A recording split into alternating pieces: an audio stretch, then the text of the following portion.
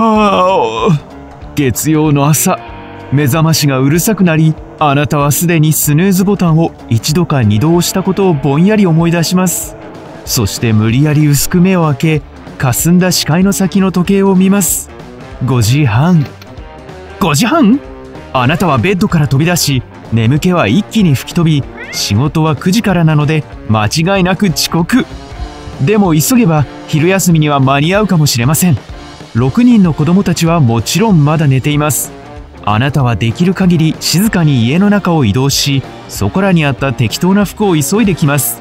そしてネクタイを結びながら大きく息を吸って部屋から出ます。エレベーターホールはすでに眠そうな人々で溢れています。8機もあるのに朝のラッシュアワーには足りないんです。あなたは列の最後に並びます。2機のエレベーターが来ましたがすでに半分いっぱいでホールにいた人々の4分の1ほどが乗っていきます。なんとかエレベーターに乗って42階から下に降りるまでにはさらに10分ほどかかりました。あなたは下の階に住んでいる人を気の毒に思います。もっと待たなければいけないのですから。午前6時です。マンションを出て道を急ぐ群衆に混じります。この時間帯はいつもそうですが道はひどく渋滞しています。歩行者が多すぎてゆっくりしか歩けません。1時間ほどしてあなたは地下鉄の駅に着き中に入る列に並びます。そしてさらに40分かかります。それでもオフィスまで歩いていくよりも早いのです。地下でも電車に乗るのを待つ必要があります。5分ごとに電車は来ますが人が多すぎてぎゅうぎゅうに押し込んでも乗れないのです。さらに20分待ってやっと乗れた時にはジャケットの裾がドアに挟まってしまいました。あなたは人に押されながらドアに体を押し付けるように寄りかかって立っています。次の駅で他の人を降ろすため一旦電車を降りますがまた乗り込もうとすると押し出されてしまいました。あー。ドアが閉まりイライラしている通勤客たちから全方向から押されながらまた5分が過ぎます。地下鉄が到着するとあなたは肘で人を押しのけて乗り込みます。乗れました。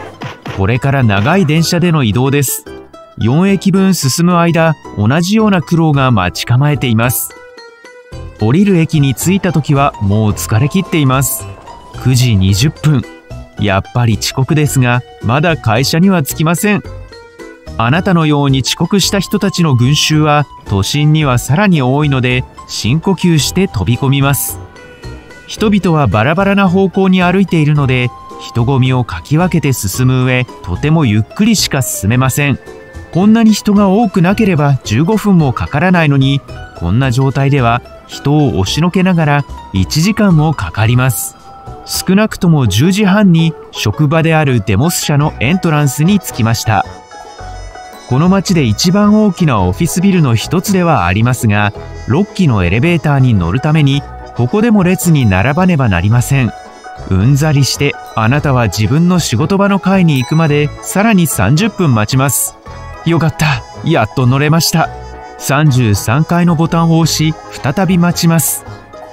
11時3分です。起きてから約6時間経っていますがまだ職場に着いただけです。同僚たちはアリのようにフロアを動き回っています。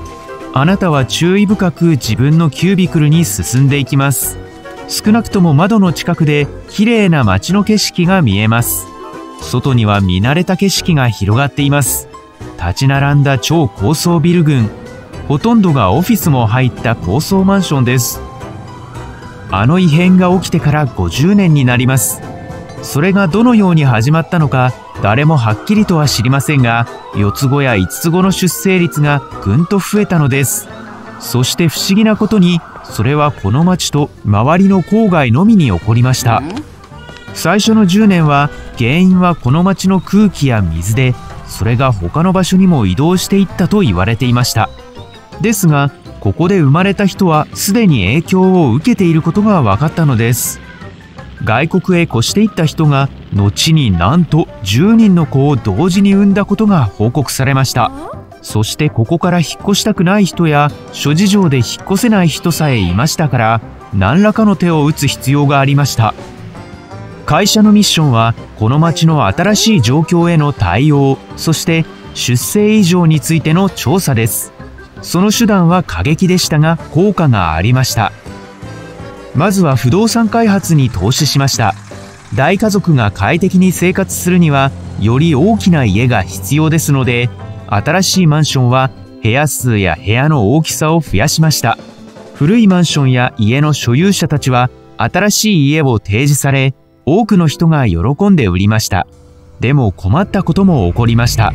すぐには引っ越したくない人々が大規模な工事現場に囲まれることになったのです。彼らもやがて騒音や埃に耐えられなくなり住居を売ることにしました。